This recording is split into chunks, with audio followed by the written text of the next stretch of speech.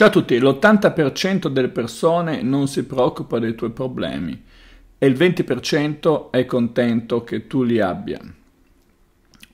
Mm, in questo video voglio spiegarti perché lamentarsi non serve, anzi è totalmente controproducente. Prima di affrontare il tema però iscriviti al canale e seguimi sulla pagina Instagram Massimo Taramasco. Ti ricordo inoltre che sul canale ti puoi abbonare, abbonandoti al canale potrai ricevere delle risposte precise e mirate alle tue domande. E adesso veniamo al tema.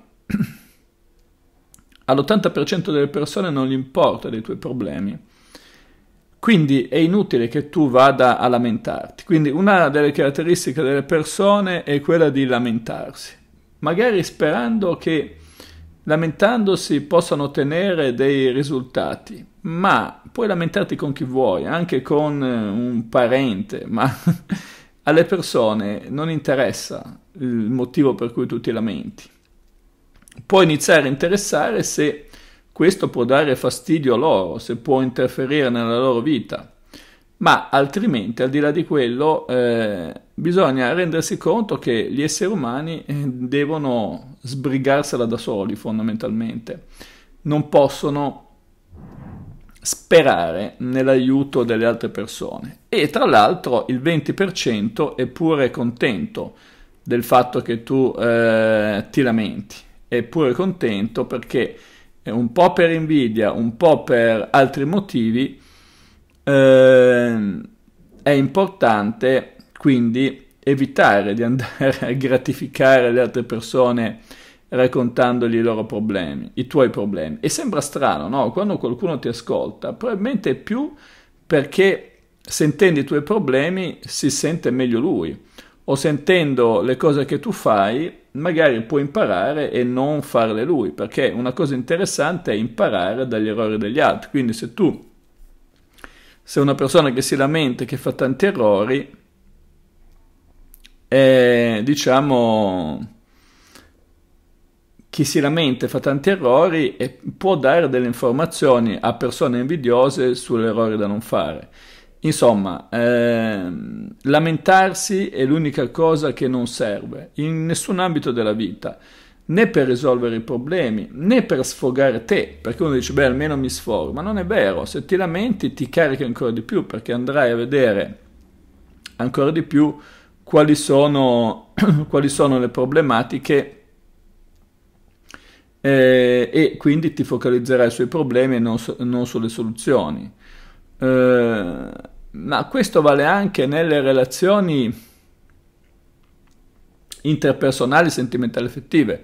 Metti che, facciamo un esempio, incontri un uomo che, con cui esci, che dopo un po' inizia a raccontarti tutti i problemi che ha col lavoro, con la famiglia, le preoccupazioni per i figli, eh, che ne so, il fatto che gli si è rotto il bagno in casa, eh, è tutta aria fritta per te, che te ne importa? Certo, ti può importare il bagno in casa se tu avevi il programma di andare eh, lì a, diciamo, a, pass- a, soggiornare nel weekend lì e quindi non ci puoi andare perché ha il bagno rotto, ma altrimenti del fatto che lui abbia il bagno rotto non te ne può fregare assolutamente di meno se, se, lo smenazza lui e non va a interferire con la tua vita. Potrebbe essere un problema anche per te se al bagno rotto e ti dici guarda mi devo trasferire un attimo a casa tua, allora devi trovarti una scusa per eh, non eh, farlo venire a casa tua fondamentalmente. Ma altrimenti non, non ti importa assolutamente di nulla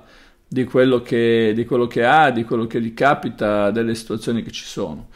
Eh, questo, questa è nella migliore delle ipotesi, ripeto, perché la peggiore delle ipotesi sono quelli che ci godono pure del fatto che tu eh, stia male, del fatto che tu abbia problemi, quindi eh, smetti di lamentarti, è controproducente per te perché non serve proprio a niente, anzi ti autoalimenti eh, dei problemi stessi, vai a comprimerli sempre di più e quindi aumenteranno sempre di più non ti porterà nessun beneficio perché nessuno si fa carico di risolverteli, e anzi potrebbe essere appunto che vai ad alimentare il godimento di persone che sono felici del fatto di sapere che tu sei problematico, che tu hai qualche problema eh, che per invidia o per malignità, tra virgolette, ne sono contenti. Beh, un altro discorso potrebbe essere quello di lamentarsi con alcune persone per strategia per non suscitare loro eh, l'invidia di chi va sempre bene. Questo potrebbe essere l'unica cosa, la finta lamentela fatta ad hoc, allora in quel caso lì potrebbe essere utile, ma in quel caso lì è una recita che io faccio per non, diciamo,